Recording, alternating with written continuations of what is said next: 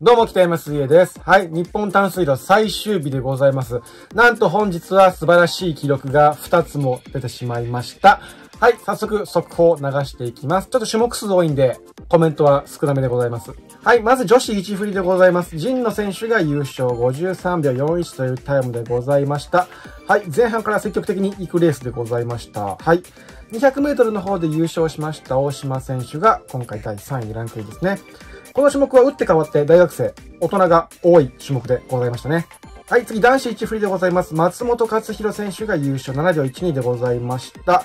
はい、第2位が関選手でございます。関選手もすごいね。ずっと早いですね。はい。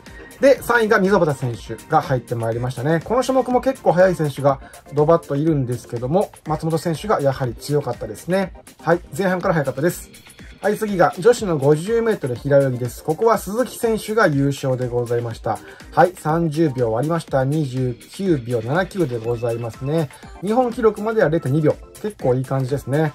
えー、鈴木選手のツイッター見ましたけども、ツイッターでは自己ベスト更新という風に書いておりました。青木選手が第2位ですね。鈴木選手と青木選手が競っておりますね。いつもね。はい。鈴木選手はしっかりとタイムを更新してきて、すごいと思います。素晴らしいです。はい、次、男子50メートル平泳ぎです。こちら、谷口選手が日本学生記録を更新しての優勝でございました。26秒05でございますね。はい。谷口選手も絶好調、いい感じのタイムを更新してきてますよね。はい。この前ね、ワールドカップ出てきて帰ってきたばっかりですが、しっかりと結果を出してきております。まあ、試合的には結構連戦になるんですけども、谷口選手しっかりと結果を出してきておりますね。素晴らしいです。はい、次、女子の1バックでございますね。こちらは白井選手が優勝でございました。はい。タイムが6秒93というタイムでございます。6秒台に来ましたね。はい。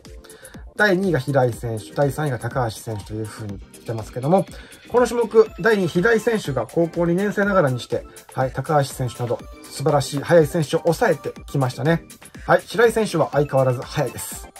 はい、次、男子の 100m 背泳ぎです。はい、佐藤祐介選手がこちら、高校記録を更新したの優勝でございました。はい、50秒77。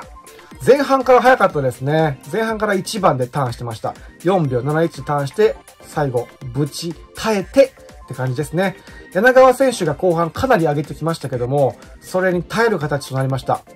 柳川選手がほぼ前後半イーブンできてるんですよね。すごいですね。いや、にしても佐藤選手、この高校記録は素晴らしいですよ。はい。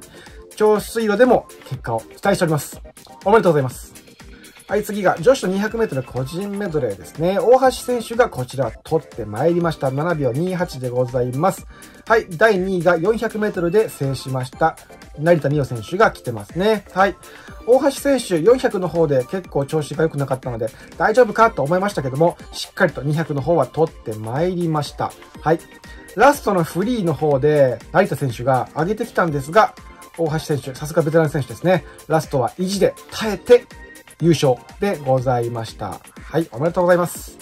はい、次、男子2個目でございます。松下選手が優勝でございました。はい、松下選手絶好調でございますね。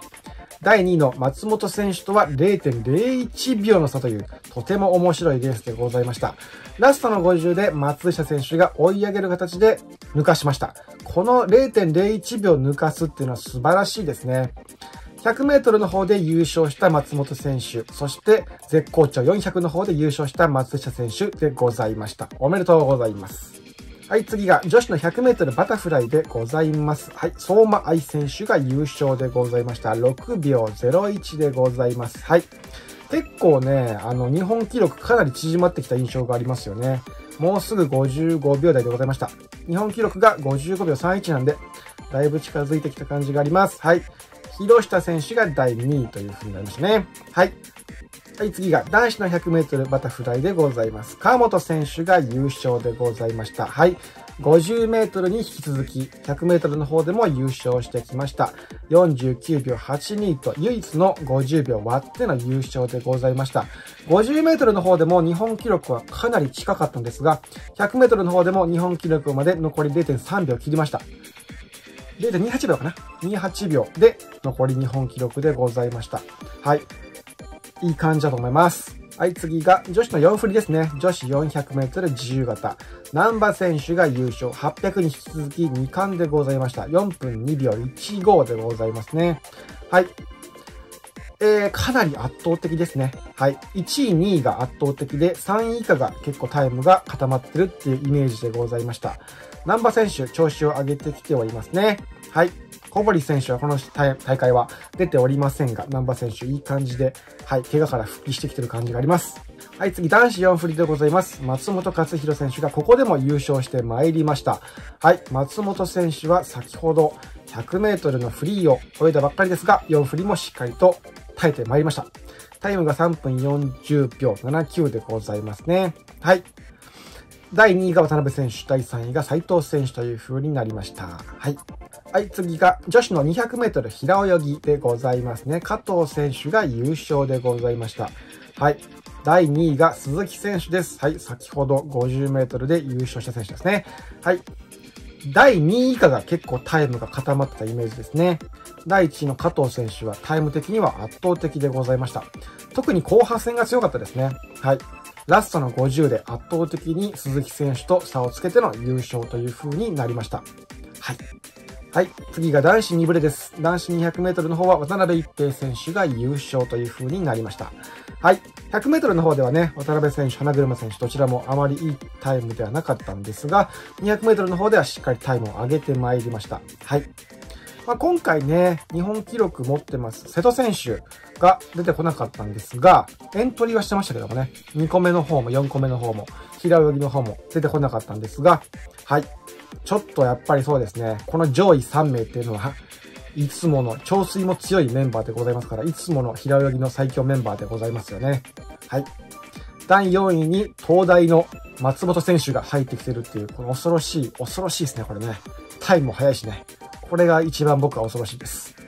はい、今回以上でございました。はい、日本淡水路は本日で終わりでございますけども、はい、最終日にですね、大会記録じゃなくて、学生記録、日本学生記録と日本高校記録、この2種目が更新されたので、僕的には非常に満足のいく大会でございました。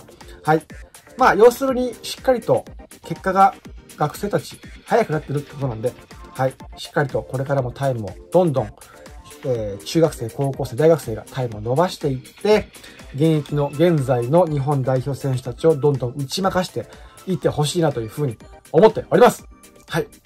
では、今回は以上になります。次は何かな？次は多分でっかい大会は社会人選手権ぐらいかな。まあ速報するかわかりませんが、はい。